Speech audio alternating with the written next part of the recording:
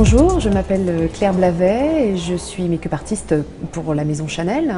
Donc aujourd'hui nous allons faire un look prune et nous allons mettre en avant la bouche. Donc pour la bouche, on va commencer par déjà faire, puisque c'est une bouche prune, une bouche qui va être assez foncée, euh, dans le cadre de, rouge à lèvres foncé, on va quand même dessiner le contour de la bouche avec un crayon d'une couleur identique au, au rouge à lèvres.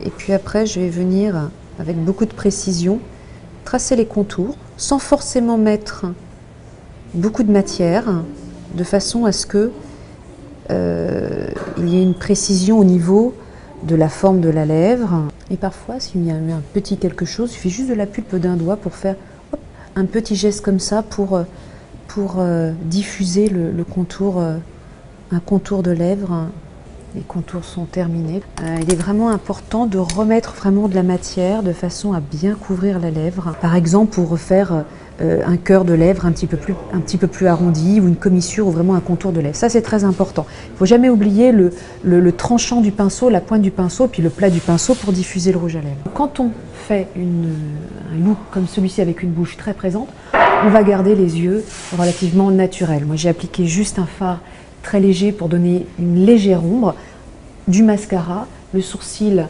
euh, un sourcil moyen, une belle présence au niveau du sourcil pour apporter de la force au regard et toute la force se trouve vraiment dans le focus au niveau de la bouche. J'ai mis un léger blush aussi, légèrement rosé, ça donner un, camailleux de, de rosé, mais on reste vraiment au niveau de la bouche, la bouche très forte, donc le reste reste très léger.